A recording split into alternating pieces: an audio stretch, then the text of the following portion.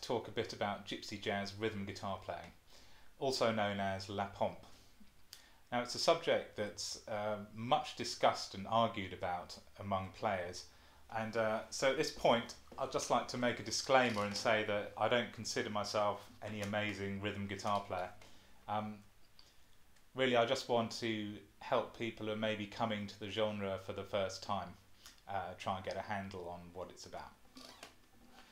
So if you listen to YouTube, um, there's quite a few examples of bad rhythm playing. Um, so you may hear something a bit like this.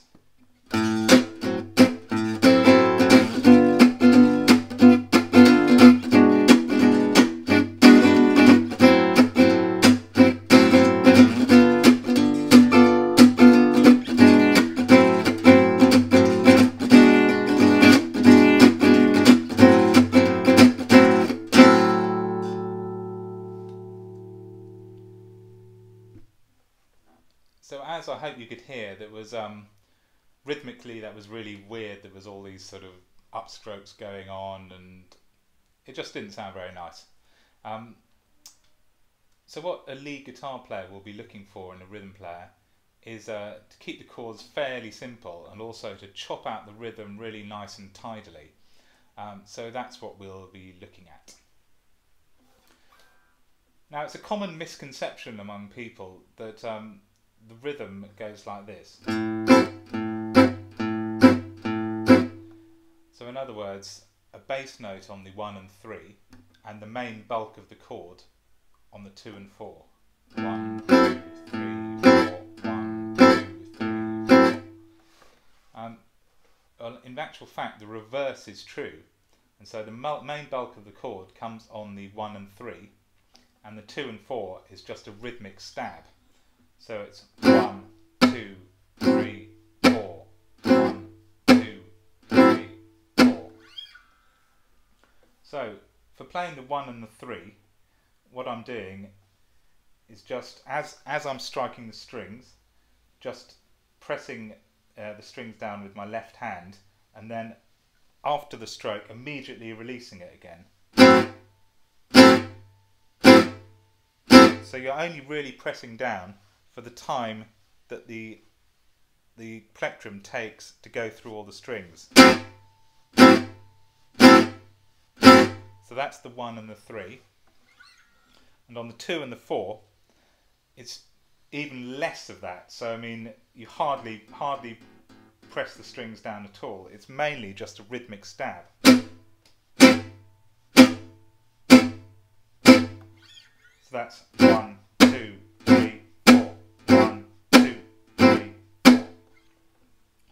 So a good way to start getting this into your playing is to uh, get a metronome and set it on something like, oh I've got it on 100 here, and start off by just playing the 1 and 3. 1, 1, 2, 3, 4, 1, 2, 3, 4, 1, 2, 3, 4, 1, 2,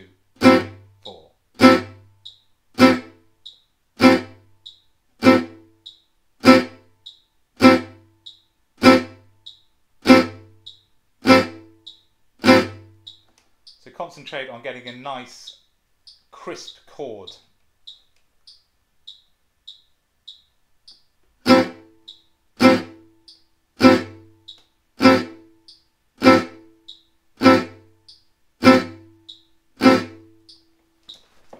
So when you're ready to carry on, you can put in the 2 and 4.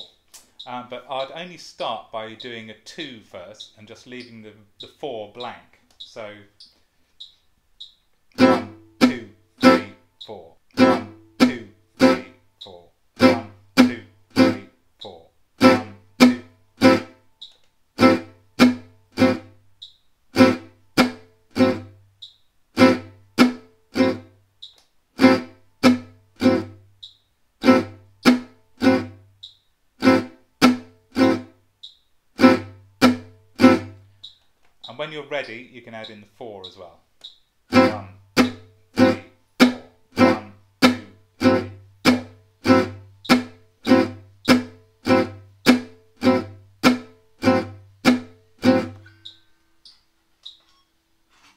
So do that for uh, increasingly faster tempos. So, for instance, one,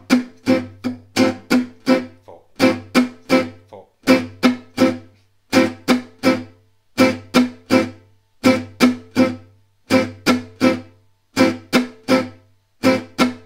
when you're ready, add in the four as well.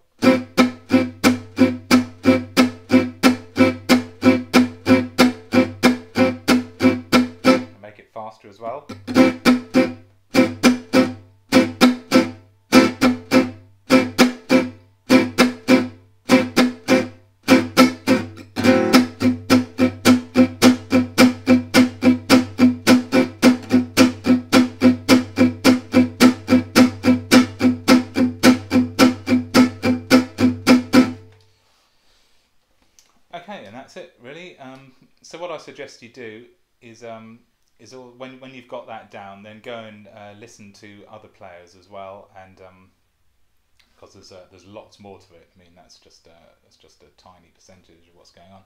So um, so yeah, go and listen to other players and uh, get some more ideas, and um, hopefully you'll develop your own way of playing rhythm. Okay, thanks.